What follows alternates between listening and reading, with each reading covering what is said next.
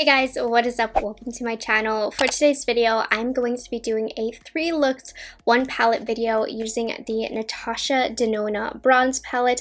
I never got around to doing my Pat McGrath Divine Rose 2 three looks, one palette video. Let me know if you guys are still interested in that. It would be a couple weeks before I can get that video up, but since this is a newer palette, I definitely wanted to get this one up. So I create three different looks and all three of them are pretty easy to recreate and very wearable if you ask me besides the crazy lashes, you can definitely turn each look very wearable. So if you are interested in seeing how I create three looks and you can kind of get a deeper dive into the palette as well, just keep watching.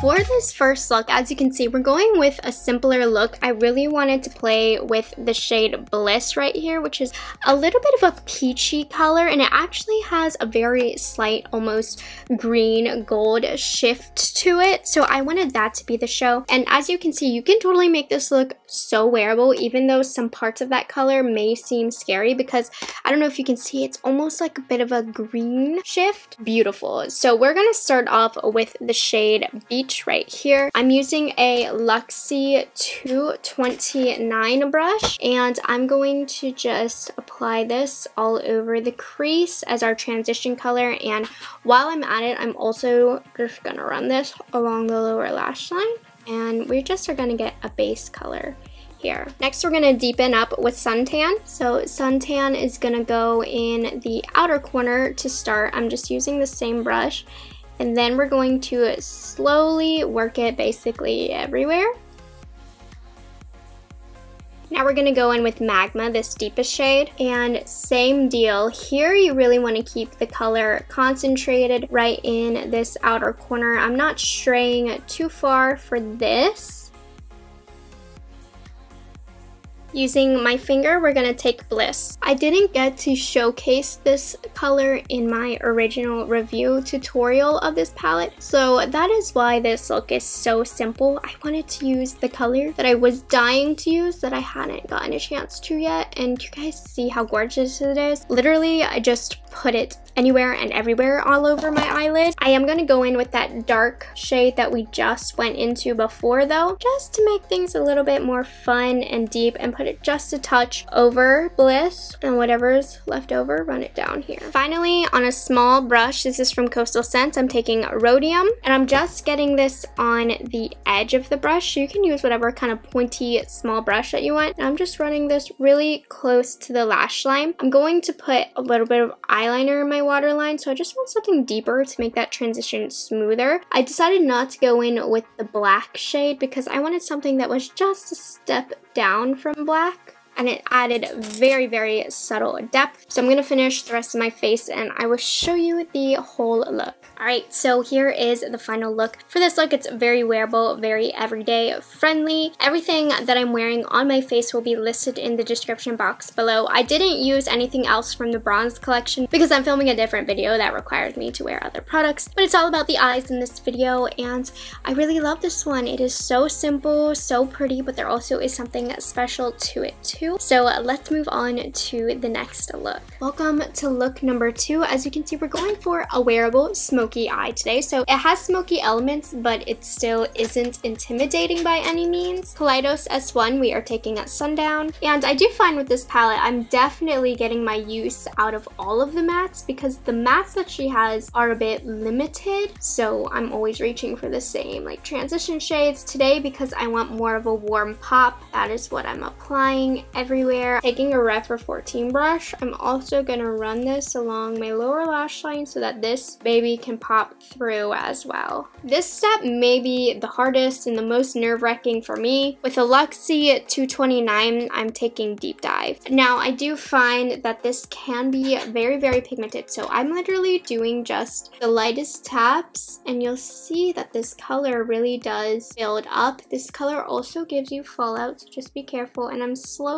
going to work this inwards just a little bit. I'm not going ham with this color. I'm not putting it everywhere. Like I said, wearable smoky eye. So I'm more so working on getting it diffused out in this area and then slowly, and I mean slowly, working her inwards. Beautiful. Do you see how nice that worked out? So next we are taking Rhodium. I've been dying to use this as an all over lid shade. I knew this was definitely going to be one of the looks that I created. You need to be careful when applying this. First of all, definitely apply it with the finger if you're going to put it all over the lid. This is how you are going to get the most payoff because it is a little bit more sheer. It does take a little bit of building up, which I think was done purposefully because this is an intimidating color. So because it's more sheer, you're not gonna get fallout. It does build up and it still stays soft, which I'm very impressed by. So this, like I really do feel like I can wear this look out and feel comfortable. So I do like the shade. I'm also pressing a really small Rephr number three brush in that shade and I'm going to run this along the lower lash line. If you are looking to get something super smoky out of this palette, forget Rhodium, put Deep Dive like right on top of that. Oh my goodness. And then you'll get something really smoky, but I like how you have this wearable sunsetty kind of option. Um, I'm going to take a Isom T05. It's just this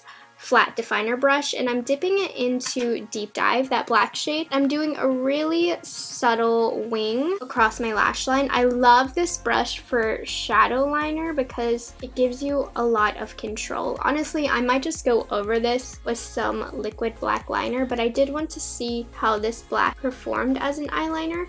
And it did better than I thought that it would just given the texture of it. It still is a soft liner. I need to build up this side a little bit more. So if you want to use this as liner, it's very, very soft, but it works very well. I'm actually going to even this out. This is literally it for the shadow, so I'm going to finish the rest of the look and I will be back to show you. All right, you guys, here is the final look. I will have everything else that I'm wearing on my face in my description box for you guys. I found that the deep dive pulled a little bit more plum when I really kicked it on for some liner. And I didn't really do anything else very special. I used Lily Lashes Houston and here we are. I hope you guys enjoyed this tutorial.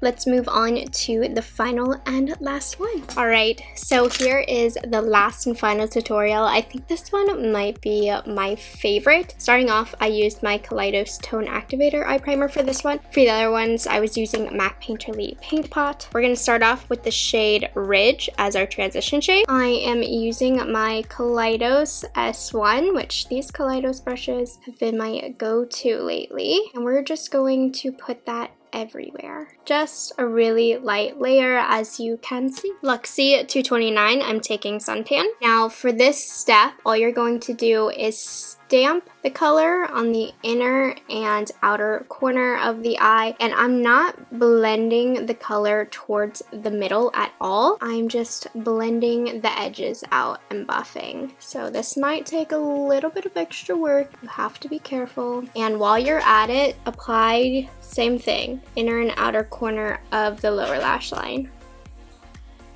With the Rephr number 12, we're taking Magma. I wish they had a bit of a deeper shade that was a little bit more brown based. That's what I feel like this palette is missing, just for a little bit more neutral depth because this provides very, very warm depth. And I do understand this is obviously a bronze palette, but I just feel like for the looks that I've been going for, I've been desiring like a really deep, warm chocolate color as opposed to like this warm reddish shade. So this one, you're gonna have to take your time with blending. So I'm going into previous brushes now to kind of work it up. So I'm not working it inwards, we're just working it up.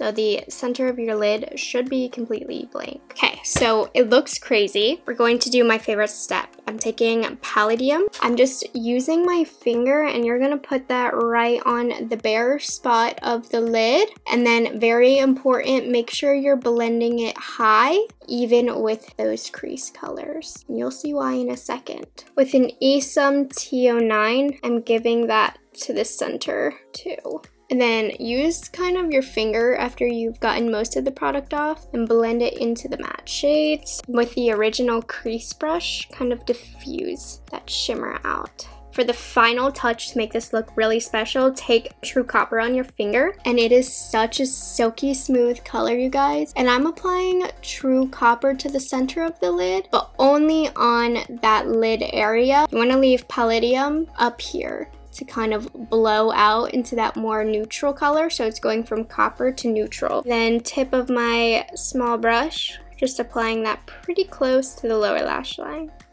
I love this. All right, so I'm gonna do liner, lashes, blush, all of that, and I'll be back for the final review. All right, guys, so here's the final look. So for this last and final look, I actually had the opportunity to also use the Bronze Cheek Face Glow palette. I just used these three shades. So this was my blush, this was my highlight base, and this was my highlight. I still have the same feelings that I did in my review. I don't really like this, but the finish and the color does complement the palette itself. I also have the Tan Nude Lipophoria on my lips as well. So everything else on my face, of course, will be listed down below. But I think this one is my favorite look that I've created with this palette so far. There's a lot of other looks I want to create. I will say, because I did get a lot of questions, a lot of the looks that you create with this palette, they definitely do look the same. For me, that's okay because I love the looks that it creates. And because I am so picky with my makeup and I look so closely into makeup, I feel like the looks look different. but in the grand scheme of things, you get a bronze look. So I hope you guys enjoyed this video. If you recreate any of these looks, be sure to tag me or send a picture on Instagram. I love it when you guys recreate my looks. It makes my day. If you aren't subscribed to my channel already, I would love it if you would take the time to do so. I have a lot more fun content coming for you guys, and I will see you guys in the next one. Bye guys, have a good one.